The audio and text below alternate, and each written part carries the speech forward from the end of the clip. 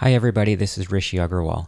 This is another video about lung cancer staging. Specifically, we're going to be talking about the N part of TNM staging, and we're going to be using the 8th edition of TNM staging for lung cancer.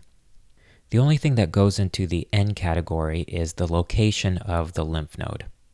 The N category is very important because what we know from the IASLC database is that each increase in a node category was associated with a worse prognosis. And this is the breakdown of the N category.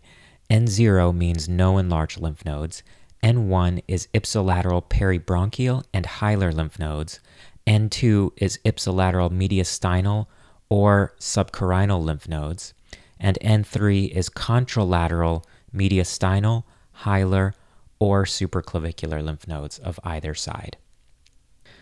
When determining whether a lymph node is positive, we generally use a size of 10 millimeters in the short axis, or if it's positive on PET.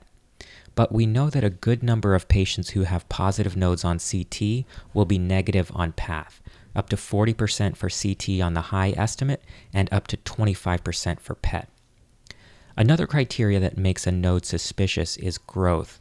If you have multiple old studies showing a stable lymph node, and all of a sudden you have a new tumor and a lymph node has enlarged, even if it's less than 10, I would call that node suspicious. So it probably goes without saying, but it's really important to know the lymph node stations in the chest, specifically whether something is in the right side of the mediastinum or the left side of the mediastinum, and what distinguishes the mediastinum from the hilum.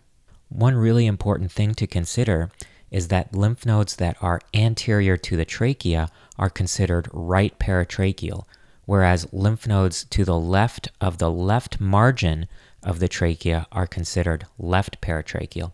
So in practice, that means that if you have a lymph node that's anterior to the trachea, even if it's directly in the midline, if that's a right lung cancer, then that's an N2 node, but if it's a left lung cancer, then that's an N3 node.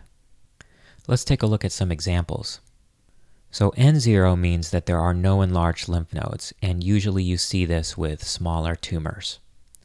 N1 is when you have ipsilateral peribronchial and hilar lymph nodes.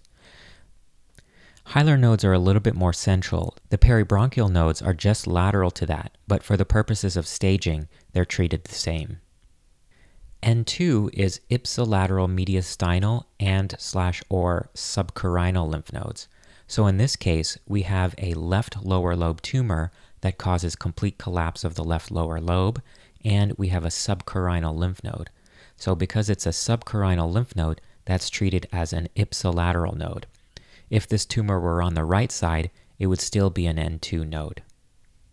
In this case, we have a lymph node that straddles the AP window and left paratracheal region, and it's in the region of the recurrent laryngeal nerve. So this patient presented with a left vocal cord hemiparesis. Here's an example of an N3 node we have a large tumor in the left upper lobe that invades the mediastinum, and we have a right paratracheal lymph node. Here's a patient with a left lung cancer and an enlarged left supraclavicular lymph node.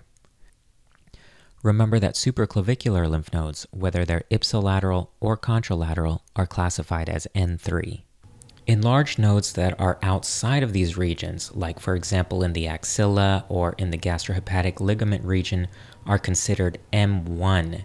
That's M for metastasis, because they're outside of the thorax. Here's some additional descriptors that are important to put in your report that might affect management. The first is whether it's single station or more than one.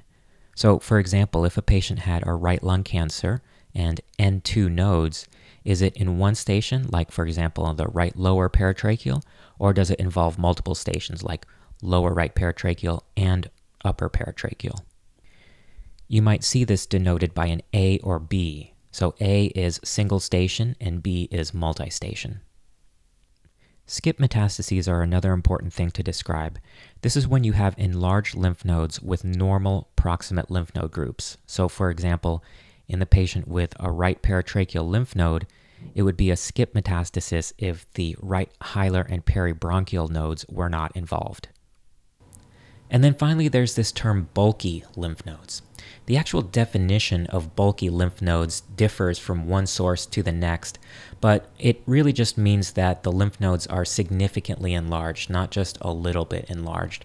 Some places say bulky is greater than 2 centimeters in short axis, some say it's greater than 3 centimeters in short axis. If you have bulky lymph nodes, it doesn't really change the stage, but it can change the management. All right, that's it for the N category for TNM staging of lung cancer. If you have any questions about this video, please leave them in the comments below. Thanks.